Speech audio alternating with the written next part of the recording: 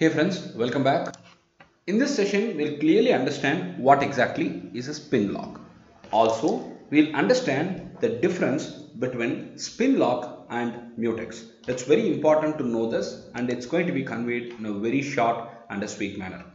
Well, let's first understand what is a spin lock. The term has a lock attached to it, right? You must have heard spin lock. Yes, it's a lock. This lock causes a thread or a process which is trying to acquire it to simply wait in a loop. I mean, when the process or a thread tries to acquire this spin lock, it will cause it to wait while repeatedly checking if the lock is available. There is a while loop and this while loop will make them wait, will make it wait and this will protect the critical section from being accessed concurrently. Well, I am having a resource, I want to access it some other process or thread is accessing it right now. So I will ask you to wait indefinitely in a loop and once it is made available, I will give you access. That is it. This is called spin lock. The term spin is all about making you wait. If you are waiting indefinitely in a while loop, I can call you, you are spinned. You are waiting in a spin lock. Right. The thread will remain active. The thread has to be active. Remember it but they are not performing anything useful. They are not doing any useful task and use of such kind of lock is called as a busy waiting lock. Really, they are busy just waiting. They don't do anything useful, they just wait but they are busy. Why sir? Very simple. Your CPU has to spare a lot of time and effort and it has to give support for this to wait. So CPU has to spend its power for doing something which is really nothing. This is one of the oldest solutions available for critical section problem. Right? Once the lock is acquired, once the resource is available, once the critical section is available, this can be freed or it can be explicitly released at some approaches where you will have to manually free it through your code. I mean, your code has to handle it. Right? Either you will have to handle it or some operating systems really release it by itself.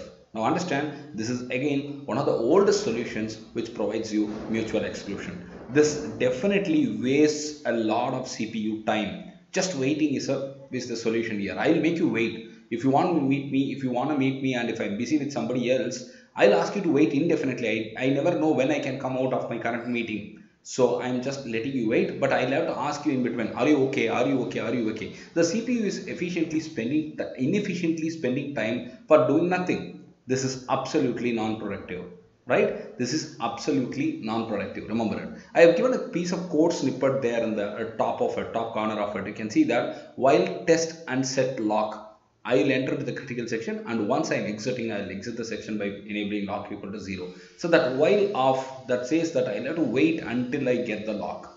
I need to wait. So that is it. Now what is the difference between spin lock and mutex? This might look similar like mutex is also a lock right? Mutex is a sleeping lock. That's the difference. Now, what is that, sir? What is the difference? Very simple.